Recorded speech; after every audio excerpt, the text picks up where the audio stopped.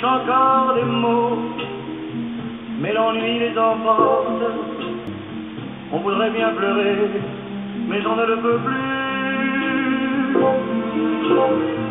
Que ces tristes souvenirs